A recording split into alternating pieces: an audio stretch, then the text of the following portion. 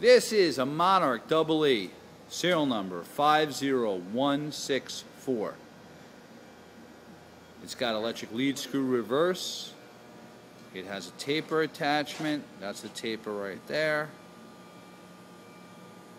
Electric lead screw reverse right here.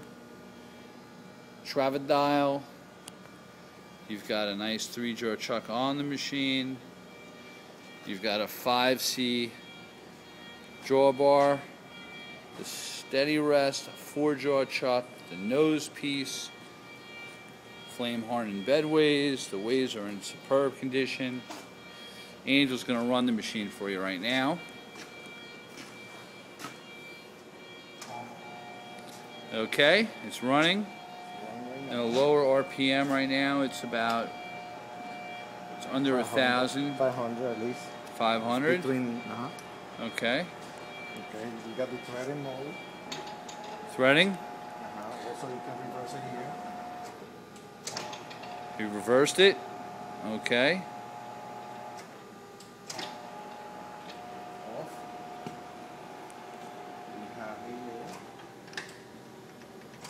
Feed. Now he's got the feed bar turning. He turned the lead screw off. He's got the cross feed going. Longitudinal. I'm going to show you the thread, uh, the Trav-A-Dial, so you can see that turning. Reversing the feed. Reversing the feed the other direction.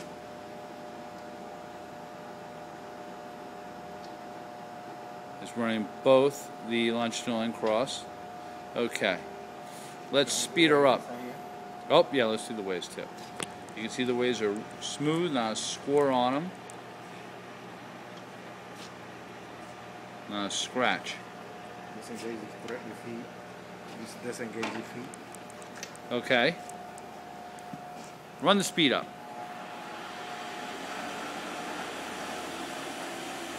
He's at about 2,000 R- right 2,000 RPM. Super quiet. 3500. 3,500 RPM. All the way up to 4,000 RPM. Let me show you that. That's 4,000 RPM. Pedal to the metal. Slowing it down. By the way, that's your tail stock. Bring the quill out. It's bringing the quill out. It's got a uh, Jacobs drill chuck in there. See, it's graduated as well. And by the way, on the taper attachment, that little dial on the back there, that's a graduation for your taper. And that is about it. I'm going to walk around the back for it. This is your tag. Manufactured 769.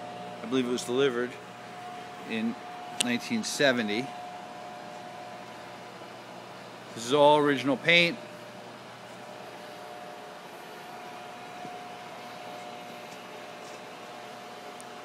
And thank you for watching the video.